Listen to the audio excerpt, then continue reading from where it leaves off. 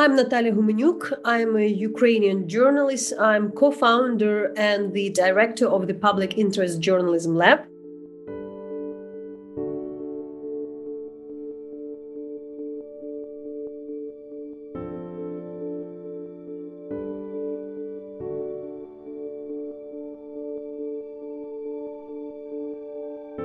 We worked a lot with the conflict. So there was always the stress on what's happening in Crimea and in particular in the Donbas.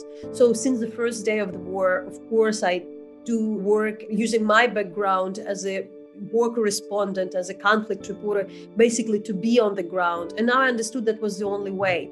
So we very fast, of course, regrouped and more or less started to work as a production, which was producing the content for international and Ukrainian media.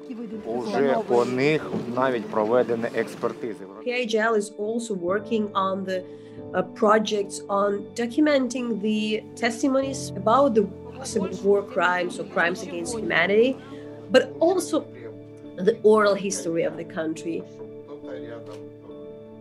Now it's a very dire time for the Ukrainian journalism.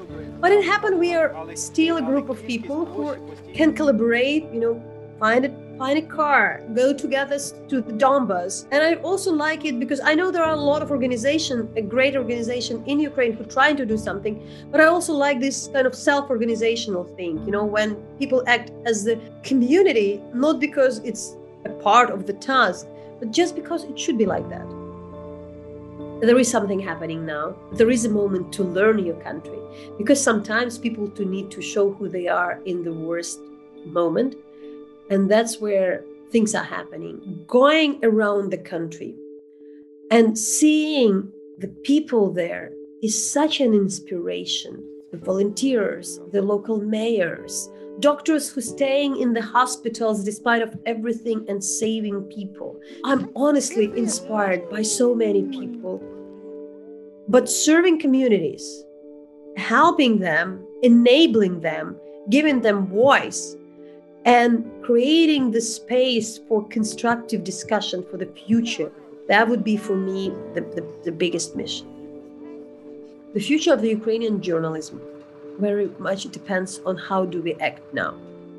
Ukrainians, yeah, they're fighting for Ukraine, but they in fact fighting for the values. They need solidarity and support. It's not up to us alone to kind of consider what would be the future of Ukraine, but it's definitely our role to ask the people